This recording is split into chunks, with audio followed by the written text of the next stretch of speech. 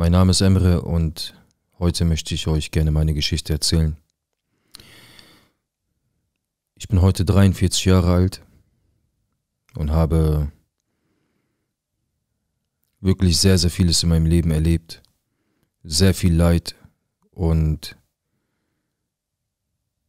ich werde euch heute mal ein bisschen in mein Leben eintauchen lassen und euch erzählen, was mir so passiert ist. Ich bin eigentlich sehr glücklich aufgewachsen. Meine Eltern waren wirklich tolle Eltern. Geschwister habe ich keine, ich bin ein Einzelkind. Ich erinnere mich wirklich sehr, sehr gerne zurück an die Zeiten von früher. Morgens aufgestanden, meine Mutter hat mich zum Kindergarten gebracht. Meine Mutter hat mich vom Kindergarten abgeholt. Wir haben gemeinsam gegessen, mein Vater war auf der Arbeit. Abends ist mein Vater von der Arbeit gekommen, ich habe ein bisschen mit ihm noch gespielt. Oft saßen wir zusammen vom Fernseher, haben uns einen Film angeschaut zu dritt. Es war wirklich, wirklich eine wunderschöne Kindheit. Eine sehr, sehr schöne Kindheit, an die ich mich gerne zurückerinnere, bis zu meinem zehnten Lebensjahr. Meine Eltern haben damals, als ich acht Jahre alt war, haben sie äh, ein Haus gebaut. Wir haben ein Haus gebaut, sind irgendwann eingezogen und es war total aufregend. Die ganzen neuen Zimmer, der neue Garten, der neue Garten, es war wirklich, wirklich, wirklich wunderschön. Als ich zehn Jahre alt wurde, habe ich mitbekommen, dass mein Vater gekündigt wurde. Meine Mutter konnte nicht arbeiten. Äh, sie war auch leider krank. Sie war krank und äh, es ging nicht. Sie konnte nicht arbeiten gehen. Sie hatte Brustkrebs gehabt. Und mein Vater hat seine schlechte Laune an meine Mutter ausgelassen. Aber meine Mutter konnte ja nichts dafür. Mein Vater hat irgendwann angefangen, Alkohol zu trinken. Nicht jeden Tag, aber irgendwann wurde es so schlimm, dass er wirklich jeden Tag getrunken hat. Jeden Tag war Streit zu Hause. Jeden Tag haben sich meine Eltern gestritten. Meine Mutter hatte sowieso nicht die Kraft dafür. Sie hatte nicht die Kraft dafür, sie war krank, sie musste sich um mich kümmern. Sie ist trotzdem jeden Morgen aufgestanden, hat mich zum Kindergarten gebracht und hat mich abgeholt, zur Schule gebracht, abgeholt. Und äh, dann auch noch sich jeden Tag mit meinem Vater rumschlagen, das war wirklich, das war manchmal wirklich zu viel für sie. Und das hat mir auch total leid getan. Ich war zwar erst zehn, aber mir waren die Hände gebunden. Ich habe immer zu meinem Vater gesagt, hör auf damit und so. Ich möchte nicht, dass ihr euch streitet. Bitte hört auf damit. Weil das macht die Psyche des Kindes natürlich auch irgendwann kaputt. Das, das, bleibt irgendwo hängen. Irgendwann hat er angefangen, auch meine Mutter zu schlagen. Und ich habe mich gefragt, warum? Warum macht er das? Warum schlägt er meine Mutter? Warum behandelt er meine Mutter so? Zweimal hat er auch mich geschlagen. Also es ist wirklich extrem eskaliert. Und dann kam dieser Tag, das war der 18. August, sitze ich äh, mit meiner Mutter in der Küche. Wir sind am Essen, mein Vater kommt nach Hause, total besoffen.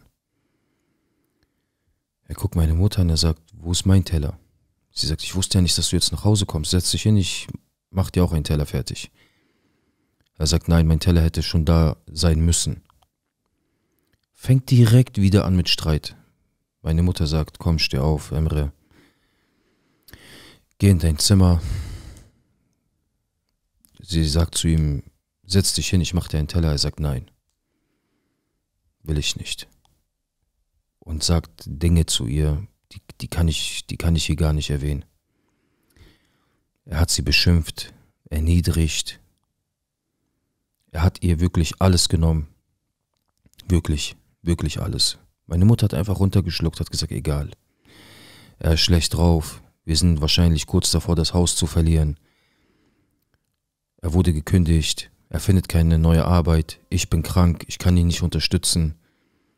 All solche Dinge hat sie sich eingeredet, ich weiß das ganz genau. Mein Vater dreht durch und packt sie an den Haaren und mein, meine Mutter beschimpft ihn. Schäm dich. Was ist aus dir geworden? Was bist du für ein Sheriff-Sis? Und er dreht noch mehr durch. Ich bin ein Sheriff-Sis? Ja, nie ein Ehrenloser. Er zieht ein Messer und sticht auf meine Mutter ein. Wie oft? Kann ich euch nicht sagen. Viel zu oft. Viel zu oft. Zu dem Zeitpunkt bin ich zwölf. Meine Mutter fängt an zu schreien bei den ersten Stichen. Und mit jedem weiteren Stich wurde sie leiser, ruhiger, hat irgendwann gar nicht mehr geschrien. Irgendwann war sie komplett ruhig. Ich stehe da total erstarrt er mit diesem Messer in der Hand, wie so ein Monster, das Messer voller Blut. Meine Mutter liegt auf dem Boden, regungslos. Er dreht sich um, er guckt mich an, er sagt, ein Wort von dir und du bist der Nächste. Und ich fange an zu zittern, ich habe so Angst. Ich weiß nicht, ob ich zu meiner Mutter rennen soll, nicht rennen soll. Irgendwann dreht er sich um und geht, macht die Haustür auf und geht raus. Ich gehe zu meiner Mutter, ich schrei richtig laut in ihr Ohr, Mama, Mama, bitte steh auf, ich flehe dich an, steh auf. Bitte rede mit mir. Und sie guckt mich, sie guckt mich an, Augen halb zu, Tränen in den Augen. Und ich habe in ihren Augen gesehen, wie langsam, langsam die Seele aus ihrem Körper rausgegangen ist. Ich schwör's euch. Ich hab's richtig gesehen wie langsam dieser Körper stirbt. Und irgendwann war dieser Blick einfach nur noch so kalt. Kalt. Ich weiß nicht, ob ich, ob sie mich noch gesehen hat, weiß ich nicht. Aber meine Mutter ist an diesem Tag verstorben. Mein Vater kam in den Knast. Dieses Schwein kam nicht mal lebenslänglich in den Knast, er war alkoholisiert unzurechnungsfähig und keine Ahnung was und hat acht Jahre dafür gekriegt. Acht Jahre. Und ich denke mir, schon als kleines Kind damals, das ist doch nicht wahr. Ich kam in ein Kinderheim. Ich durfte, ich wurde, ich wurde mit, mit zwei Frauen vom Jugendamt, äh, durfte ich zur Beerdigung von meiner Mutter. Meine Mutter liegt in diesem Sarg ich bin alleine, zwei Frauen, zwei wilde Frauen, die ich nicht kenne, sind mit mir. Und ich stehe da und weine. Viele auf dem Friedhof haben geweint, aber nicht wegen meiner Mutter. Sie haben geweint, weil sie mich gesehen haben, wie ich da weine und wie sehr ich leide. Mein Vater am Knast, meine Mutter in diesem Sarg. Und ich stehe da als Zwölfjähriger, hilflos und habe niemanden. Meine Verwandten wollten mich auch nicht haben. Niemand wollte mich haben. Oma, Opa hatte ich auch nicht mehr. Kein Onkel hat sich bereit erklärt, mich, mich zu sich zu nehmen. Keine Tante hat sich bereit erklärt, mich zu sich zu nehmen. Wirklich niemand. Eine katastrophale Situation. Wenn du von jetzt aus, von jetzt auf gleich aus diesem Leben gerissen wirst, nicht mehr weißt wohin. Und auch wenn du weißt wohin, du hast keine Macht, selber darüber zu entscheiden, wohin du kommst. Du bist zwölf Jahre alt. Ich bin im Kinderheim. Ich bin lange wach, sehr lange wach. Ich bin in Therapie. Jeden Mittwoch muss ich zur Therapie, weil ich psychische Probleme habe. Das Schreien meiner Mutter nicht mehr aus meinem Ohr geht. Und dieses Blut, und dieser Blick, das alles zu sehen, das wünsche ich nicht mal meinem schlimmsten Feind. Warum hast du diesen Menschen genommen, den ich so sehr liebe? Warum hast du, warum hast du mir das angetan? Habe ich mich oft gefragt. Warum? Hast du nicht eine Sekunde an mich gedacht, wie es mir geht? Hast du nicht eine Sekunde darüber nachgedacht, was aus mir wird? Hast du nicht damals gesehen, dass deine Brüder nicht für dich da waren? Beim Hausbau, wo wir ein Problem gesteckt haben, wie sie dich alle fallen gelassen haben, hast du wirklich gedacht, sie würden mich bei sich aufnehmen und würden mich großziehen, bis ich irgendwann 18, 19, 20 bin, auf eigenem Bein stehen kann? War dir das alles nicht bewusst? Diese ganzen Fragen habe ich mir gestellt, diese ganzen Fragen. Und von Tag zu Tag, von Woche zu Woche, von Monat zu Monat, wuchs die Wut immer mehr, immer mehr. Es kam ihr Geburtstag, es kam ihr Sterbetag, es kam der Tag, wo sie beerdigt wurde, es kam mein Geburtstag. Und immer wenn mein Geburtstag war, ihr Geburtstag war, habe ich immer an diese Geburtstage gedacht, wo wir zusammen waren, wo wir gegrillt haben draußen, Happy Birthday gesungen haben, gegessen haben, getrunken haben zusammen, glücklich waren. Ich ein Geschenk gekriegt habe, sie ein Geschenk bekommen hat von meinem Vater. Mein Vater, wenn er Geburtstag hatte, genau das gleiche. Wir waren so eine richtig kleine süße Familie, Mutter, Vater, Kind. Aber die Therapie hat nichts gebracht. Ich kam auf Gedanken, auf die sollte ein, ein 12, 13, 14-Jähriger niemals kommen. Niemals.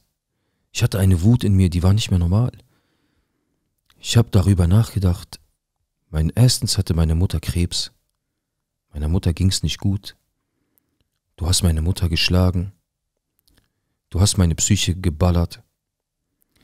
Du hast sie vor meinen Augen hingerichtet und jetzt verrecke ich hier in einem Kinderheim. Und an dem Tag habe ich mir geschworen, wenn du kleiner Hund aus dem Knast kommst, wirst du dafür bezahlen. Du wirst dafür bezahlen. Zu dem Zeitpunkt, wo das passiert ist, war ich zwölf Jahre alt. Mit 19,5 kam er raus. Und ich habe jeden Tag darauf gewartet. Jeden gottverdammten Tag habe ich darauf gewartet, dass er aus dem Knast kommt. Ich habe irgendwann mitgekriegt, dass er aus dem Knast rauskommen ist. Meine Onkels, meine Tanten und so. Niemand hat sich um mich gekümmert, niemand hat nach mir gefragt. Die ganze Zeit und die ganzen Jahre im Kinderheim hat sich niemand um mich gekümmert. Wirklich gar keiner. Ein also ein paar Mal hat er sogar mit dem Jugendamt gesprochen, dass er mich sehen will. Ich habe abgelehnt. Ich sage, auf gar keinen Fall. Auf gar keinen Fall. Wir werden uns noch sehen. Der Tag wird kommen, wo wir uns sehen werden. Und dann werde ich dir in die Augen schauen und werde dir ein paar Dinge sagen. Irgendwann bekomme ich mit, er ist rausgekommen. Mein Leben ist im Bach untergegangen. Ich habe auch keine Ausbildung gemacht. Ich habe gar nichts gemacht. Für wen und für was? Ich habe eine Einzimmerwohnung irgendwann gemietet. Ich kam aus dem Kinderheim raus. Habe mein Leben gelebt. Und habe mich vorbereitet. Ich habe mich vorbereitet, weil ich wusste, dieser Mann wird irgendwann vor mir stehen und wird mich um Vergebung bitten. Aber das geht nicht. Kann ich nicht. Jedes Mal, wenn ich über den Friedhof laufe, vom Tor, vom Eingang bis zum Grab meiner Mutter. Diese 40 Meter, 30 Meter bis dahin. Jeder Schritt ist ein Schmerz. Jeder Schritt ist ein Stich ins Herz. Jeder Schritt ist, ist, ist, ist so qualvoll in der Seele. Das kann man sich gar nicht vorstellen.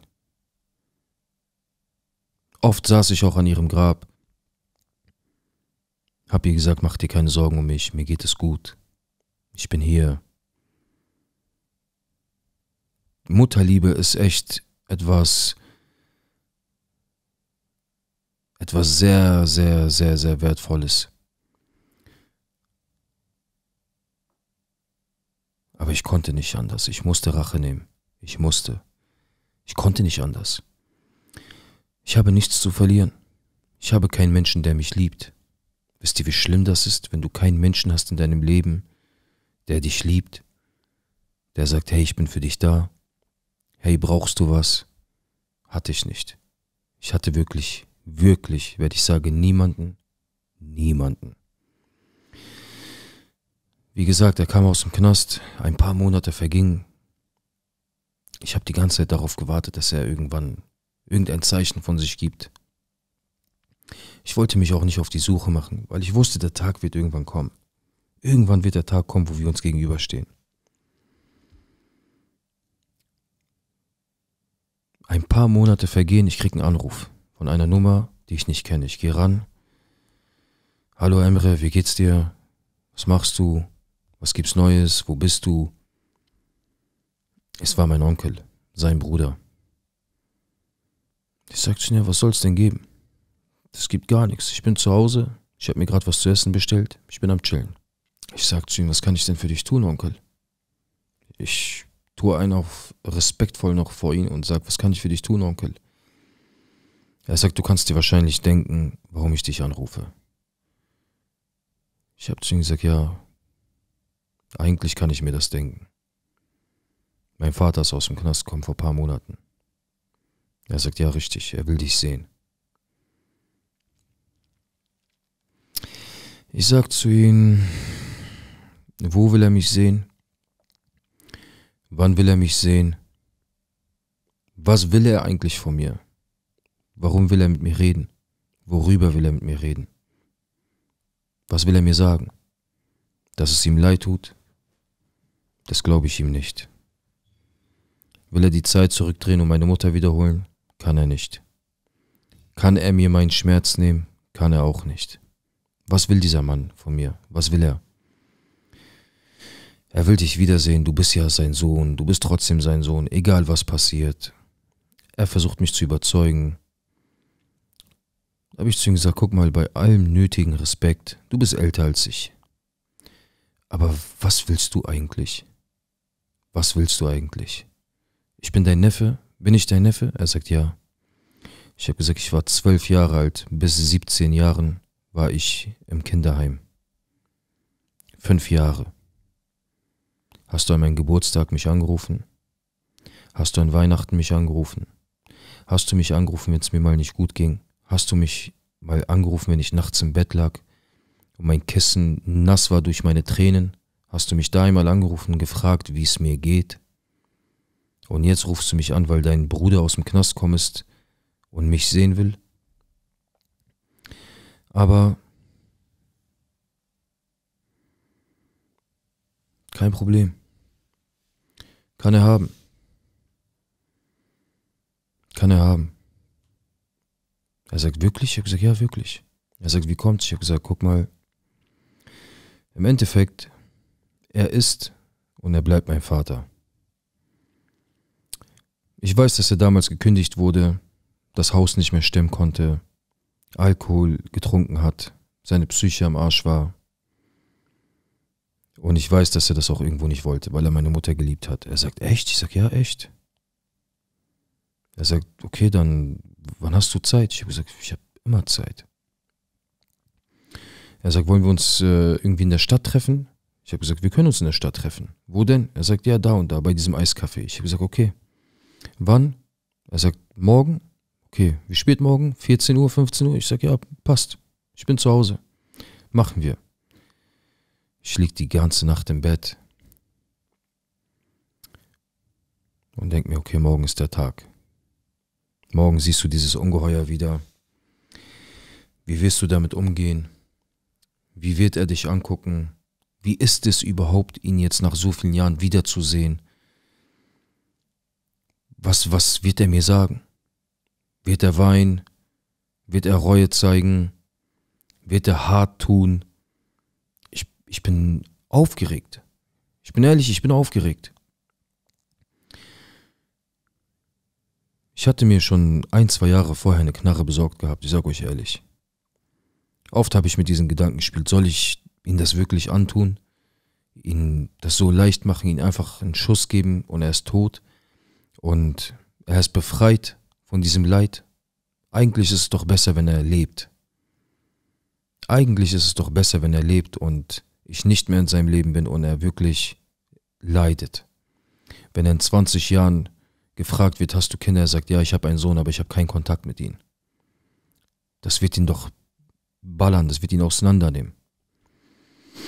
Auf jeden Fall, nächster Tag kam. Ich habe mich angezogen, ich bin ins Auto gestiegen, bin in die Stadt gefahren und laufe.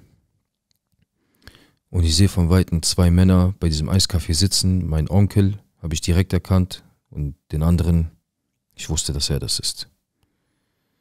Die sitzen da, ich setze mich an den Tisch. Die wollten gerade aufstehen. Ich habe gesagt, nein, bleib sitzen. Bleib sitzen. Ich möchte auch nicht, dass sie mir die Hand gibt oder sonstiges. Ich bin jetzt hier, erzähl. Er sagt, wie geht's dir erstmal? Ich habe gesagt, das ist dir egal, wie es mir geht. Nächste Frage. Er sagt, es tut mir leid. Das hätte alles nicht passieren sollen. Ich habe sehr viel Zeit darüber, äh, sehr viel darüber nachgedacht. Ich habe sehr viel Zeit gehabt. Ich so, okay, und was hat meine Mutter an diesem Tag gemacht, dass du so durchgedreht bist? Er sagt, sie hat mir mein Essen nicht fertig gemacht.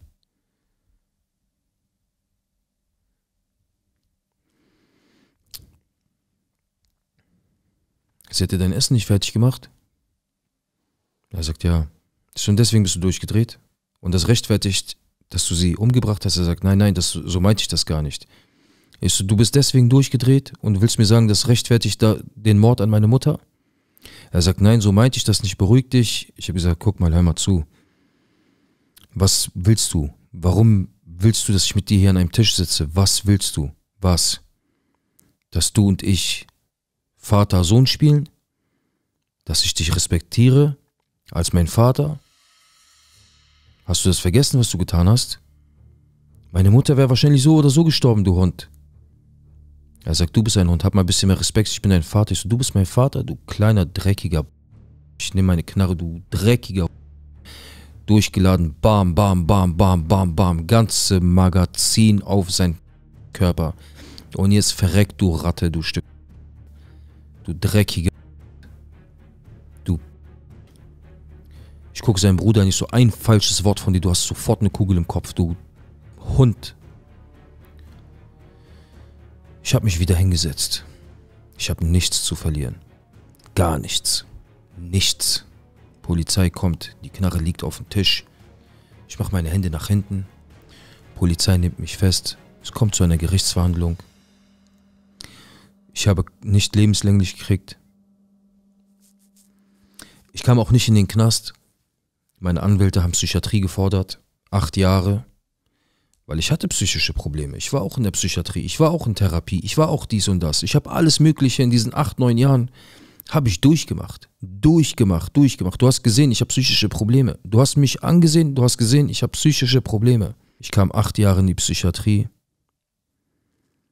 Und meiner geliebten Mutter habe ich nicht einen Tag davon bereut. Und ich würde es immer wieder tun. Was ich euch mit meiner Geschichte sagen möchte, ist, der Alkohol hat dafür gesorgt, dass mein Vater seinen Verstand verliert und einfach auf meine wehrlose Mutter raufgegangen ist. Der Alkohol, die Probleme, die er nicht stemmen konnte, aber Es gibt eine Person in meinem Leben, die mal zu mir gesagt hat, es gibt Probleme, die kann man mit Papier lösen, mit Geld. Wenn du Probleme hast, die du mit diesem Papier lösen kannst, dann sei froh. Es gibt aber Probleme, die kannst du, die kannst du mit keinem Geld dieser Welt lösen. Und bei meinem Vater war das so. Es war nur ein Geldproblem. Ein verdammtes Geldproblem. Und er hätte es regeln können. Er hätte irgendwo neu arbeiten können. Er hätte irgendwas machen können. Aber nein, er hat den Kopf in den Sand gesteckt, hat Alkohol getrunken bis zur Bewusstlosigkeit, ist auf meine Mutter raufgegangen, auf meine wehrlose Mutter, hat unzählige Mal auf sie eingestochen. Ich kam ins Kinderheim. Ich kam in die Psychiatrie. Ich war in Behandlung, Therapie und alles Mögliche und war komplett auf mich allein gestellt. Und das alles wegen solchen Problemen und wegen Alkohol. Heute bin ich 43, knapp 44 Jahre alt. Glücklich bin ich nicht. Glücklich bin ich überhaupt nicht. Ich habe euch am Anfang meiner Geschichte erzählt, dass ich eine wunderschöne Kindheit hatte. Beide Elternteile da, alle glücklich. Ich erinnere mich oft an diese schönen Tage, aber heute denke ich auch noch oft an diesen Tag, wo meine Mutter mit ihren mit ihrer letzten Kraft noch vielleicht ihre Augen aufgehalten hat, um mich anzusehen. Dann den Tag, wo ich meinen Vater erschossen habe. Es hätte alles, alles, alles anders kommen können. Wirklich alles. Aber nicht jeder hat dieses Glück, glücklich aufzuwachsen. Aber oft liegt es an einem selbst. Und deswegen, ich weiß, dass auch viele junge Menschen sich diese Videos anschauen. Und Gott sei Dank ist auch hier alles anonym.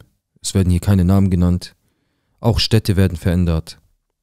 Alles Mögliche wird verändert. Wenn dein Vater so ein Problem hat, ein Alkoholproblem, ein Drogenproblem, zeig ihm dieses Video hier. Zeig ihm, was mit einem Kind passiert, wenn die Mutter stirbt, ermordet wird und der Vater in den Knast kommt. Zeig ihm dieses Video, vielleicht schmeißt er gleich noch die volle Flasche weg, die er sich gerade gekauft hat. Ich hoffe es und ich bete dafür. Und dafür ist dieser Kanal da, um solchen Menschen die Augen zu öffnen, damit Elternteile und auch Kinder weniger Leid ertragen müssen. Das ist unser Ziel mit diesem Kanal hier. Und wir sind am Ende unserer Story angekommen. Ich küsse eure Herzen. Vielen, vielen Dank fürs Zuhören. Vielen Dank für euren täglichen Support. Abonniere gerne den Kanal. Lasst immer schön ein Like und ein Kommentar da, damit so viele Menschen wie möglich dieses Video hier sehen. Und es kostet euch auch nichts, Cousins und Cousinen. Folgt mir und mein Bra Emilio auf Insta. Ganz wichtig, nicht vergessen. Und das war's heute von mir. Ich hoffe, die Story, was heißt gefallen, aber ihr wisst schon, was ich meine, ne? Cousins. So, es war jetzt keine schöne Geschichte, aber ja, gut, alles klar. Ich wünsche euch noch einen schönen Abend. Euer Said Ibrahim.